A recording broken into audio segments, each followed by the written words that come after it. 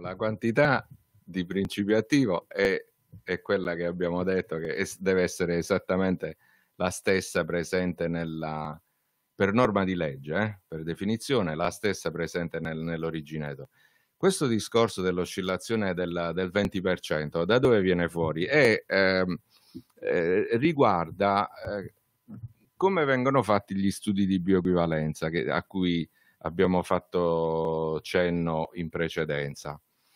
E riguarda anche un altro concetto che, che adesso parlando parlando è venuto fuori, della variabilità individuale eh, nella, per quanto riguarda poi la, la cinetica dei farmaci. No? Diceva prima eh, il, il, collega Luigi che se io prendo un farmaco oggi e misuro le concentrazioni plasmatiche troverò un certo, un certo valore, se faccio lo stesso lavoro a distanza di una settimana troverò un valore diverso. Quindi c'è un'oscillazione nelle concentrazioni plasmatiche a parità di farmaco e a parità di paziente che è assolutamente normale. Anzi, ci sono dei farmaci che hanno una elevata variabilità sono, ed è una caratteristica proprio specifica di un determinato farmaco, di un determinato principio attivo. Quindi eh, mettere, diciamo, assumere che ci possa essere un'oscillazione delle concentrazioni plasmatiche in un determinato intervallo, no?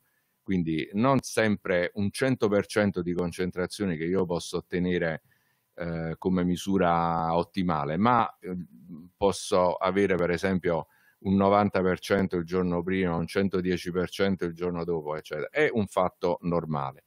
Quindi come si ragiona? Eh, io devo stabilire, e questo diciamo è stato, c'è un consenso internazionale su questi concetti, non è che poi ci, ci sia, c'è, stato qualcuno che se li ha inventati dal, dal giorno alla notte.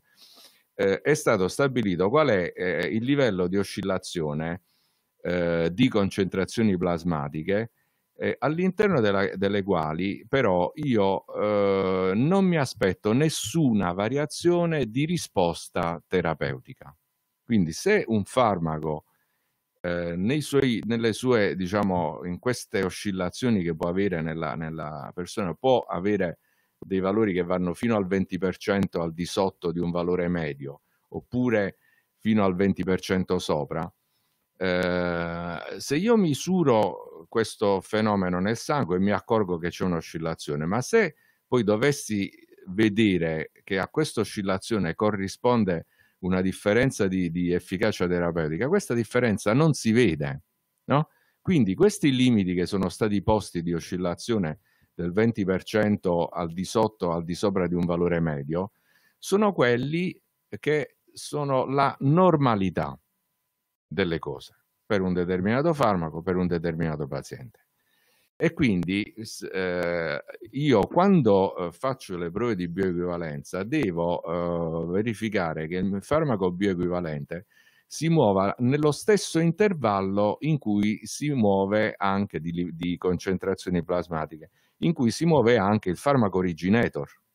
Quindi per il farmaco originator e per l'equivalente io posso eh, aspettarmi un'oscillazione del 20% al di sotto o al di sopra di un valore medio senza nessun eh, diciamo, effetto misurabile sulla risposta terapeutica.